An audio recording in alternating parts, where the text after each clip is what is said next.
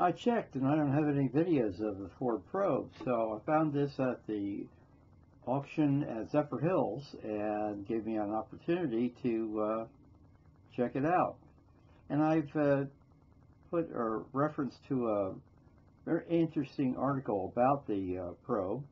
It was the result of the merger between uh, Ford and um, Mazda, essentially a Mazda car, but built by Ford in the U.S., these models. And I would say this is a 2000-ish car.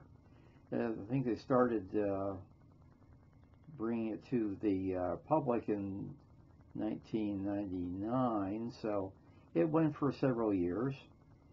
And it was rumored, and very rightly so, it was going to be the replacement for the Mustang. The Fox body was going to be out, and this was going to be in. It came in a variety of engines, uh, four-cylinder, six-cylinder. This one appears to be a V6. And it sold fairly well, I think, but uh, the Mustang faithful was uh, appalled. they were not, they didn't want any part of this uh, to replace their beloved Mustang. So they stuck with the Fox body for a few more years and then they uh, gradually changed uh, the basic design in 2005.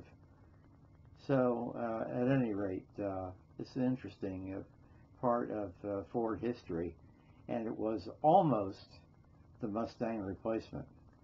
And Ford actually listened to their customers. Amazing.